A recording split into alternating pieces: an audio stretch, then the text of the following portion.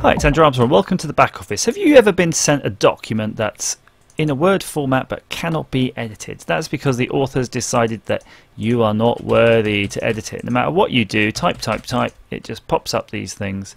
You might click, try to click stop protection, password, I don't know it. And it can be so infuriating because all you might want to do is just change the margins just so that you can print it. Well, here's a solution for you.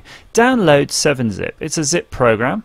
You can get it online, 7-zip.org. It's free. It handles most formats and it integrates into Windows. So that means you can right click on the file and then you'll see 7-Zip right there. Open archive.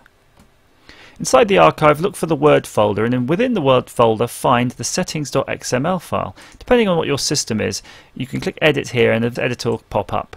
On my case, it's Notepad. This is the basic editor most of you will have. So just go straight to Find and look for Protect.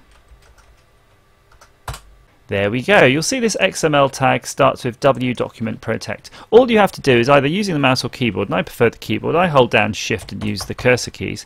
Find the end tag. So starting at the beginning, select all of it right through to the end tag. You'll see there's a whole lot of stuff there on algorithms and hashes. That's probably storing just the password within the file. Then you'll see this end tag. See front slash greater than symbol. Hit delete. Bang, it's gone. File, save. Close down Notepad. 7-Zip will say, do you want to update the archive? OK, job done. Close that. Double click the file. Wait, wait, wait. I can edit your stuff. Weak.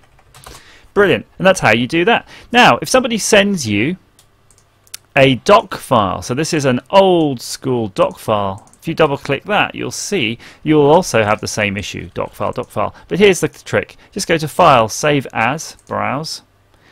Save it as docx. I'm going to save it as file 2 here because I've already got one. 222222. There we go. Fine. Then you can just do the same trick on that file.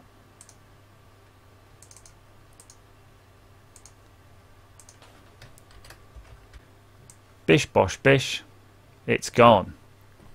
So I hope that's been of some use to you. As ever, thanks for watching.